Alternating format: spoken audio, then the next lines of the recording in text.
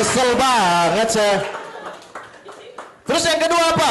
Jangan takut, ayo masuk ke dalam politik. Eh, tai.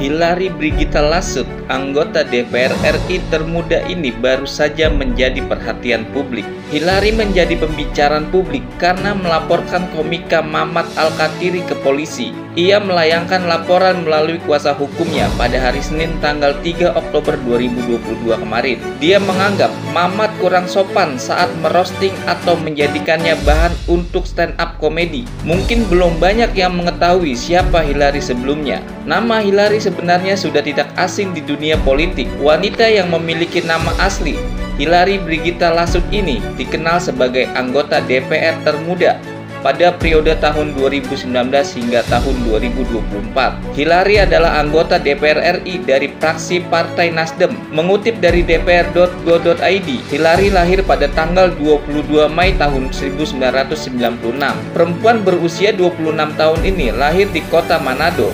Ia adalah putri dari pasangan Eli Lasut dan Teli Canggulung. Ayahnya menjabat sebagai Bupati Kepulauan Talut pada periode tahun 2019 hingga tahun 2024. Sementara itu, ibunya juga pernah menjabat Bupati Minahasa Tenggara pada periode tahun 2008 hingga tahun 2013. Pada saat duduk di bangku sekolah dasar, Hilary adalah lulusan dari SD Katolik 1 Teresia Manado. Ia telah menyelesaikan pendidikan sekolah dasar pada tahun 2009 silam. Kemudian, ia melanjutkan pendidikannya ke sekolah menengah pertama di SMP Kristen Ebenezer 1 Manado. Setelah itu, ia melanjutkan pendidikannya ke tingkat sekolah menengah atas di SMA Negeri 1 Manado. Ia kemudian pernah menjabat sebagai ketua OSIS di SMA-nya pada tahun 2013 hingga tahun 2014. Tidak hanya menjadi ketua OSIS, ia juga bergabung menjadi Paskibra di kota Manado pada tahun 2013 lalu. Ia juga pernah berpartisipasi menjadi peserta Bunaken Teen Idol pada tahun 2009. Faktanya, ketika duduk di bangku sekolah, jiwa kepemimpinannya sudah muncul. Pada tahun 2009, ia juga mengikuti acara leadership Bootcamp Excellent Leader. Paras cantiknya juga membuatnya ikut bergabung di acara Miss Manado International School pada tahun 2009.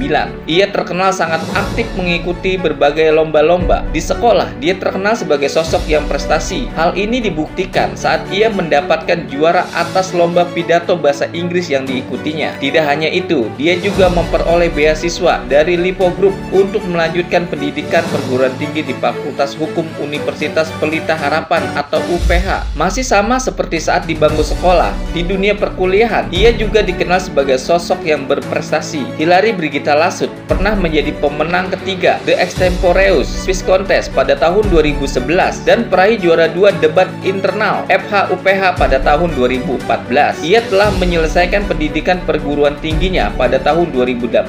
Kemudian, ia melanjutkan pendidikan S2 di Washington Law University. Ia menyelesaikan pendidikan S2-nya pada Desember tahun 2019.